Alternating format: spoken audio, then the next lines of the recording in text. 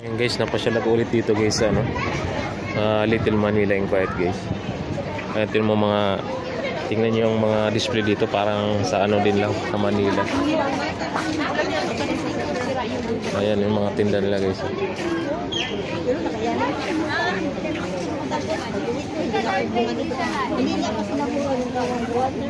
Parang sa Manila lang. Oh. Ayan oh. o.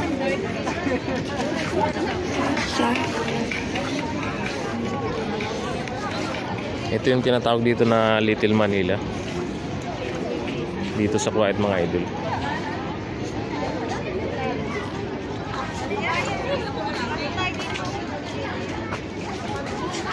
Dami rin tinda dito. Ayan mga tinda guys. Oh. Ayan. May ano, skateboard din. Dami guys, daming tinda guys.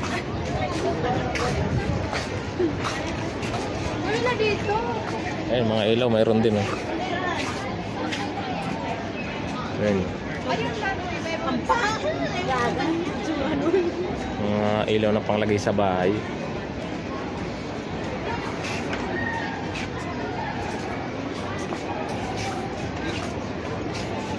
Marami yung pagpipilian dito. Sombrero, napakaraming klase. Ayan mga idol. Oh. Ang gaganda oh. 1 KD lang oh.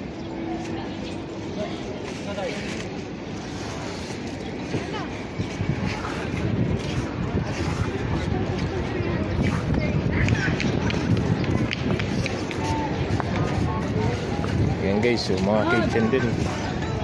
Para nga din lang sa ano eh. Sa Manila eh. Kaya tinawag na Little Manila ito mga idol oh.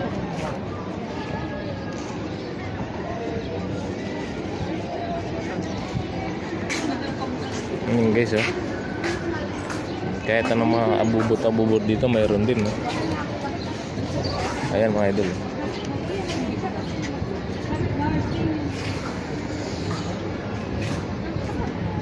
Mga pampaganda mayroon din. Kompleto mga idol.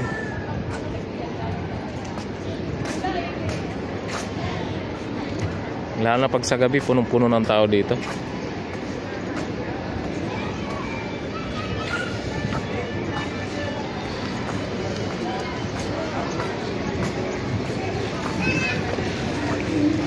Hmm, ganda dito guys. Oh.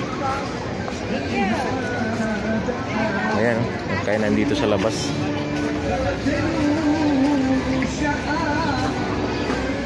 Ang ganda ng ah, reception niya. oh. Ang ganda ng pagkaayos. Dito ang pinakamaraming ah, Pilipino sa lugar na to. So, karamihan na kumakain dito mga Pilipina yan.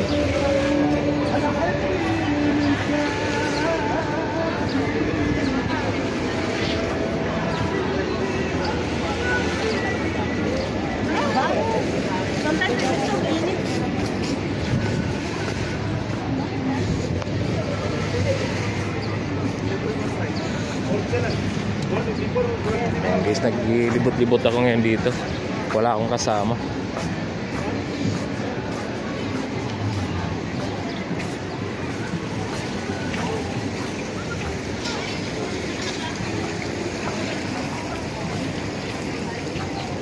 Maraming matambayan dito. Pito. Pwede akong biyaan. Paaninin sa... Mag-isa.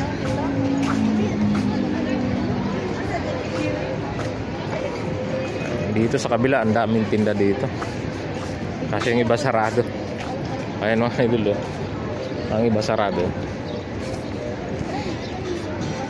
Ayun, mga tinda na damit.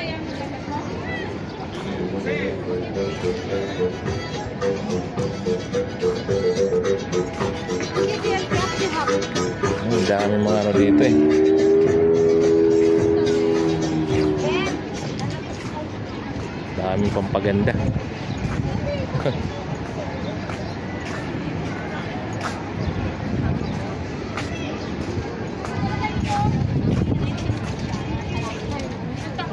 Sa likod namin. May mga glasses din. Marami.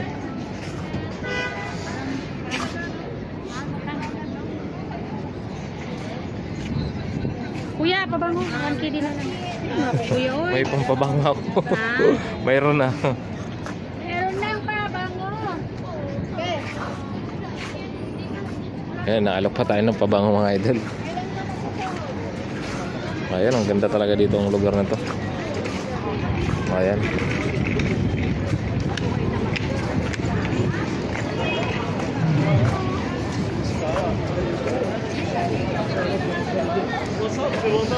Yung mga kainan dito.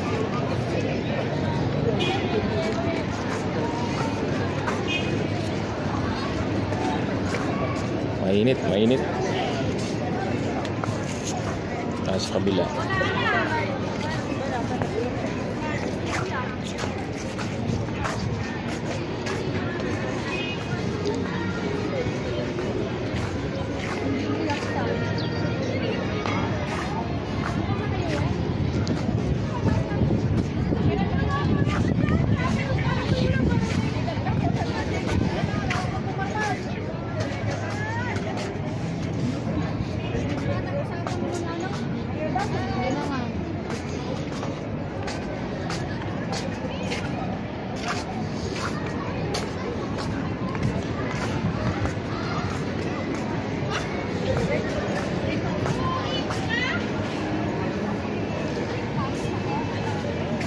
Nakalibot-libot na ko mga idol.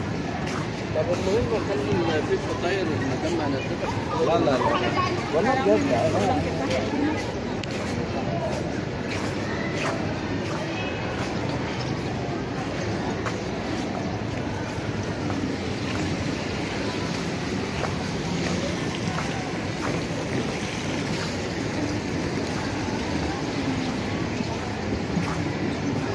Kainit na ngayon guys. Tapos yung taglamig dito. Dati reklamo ang tao sa lamig ngayon. Magrereklamo na naman sa init. Ganun lang ang ano dito.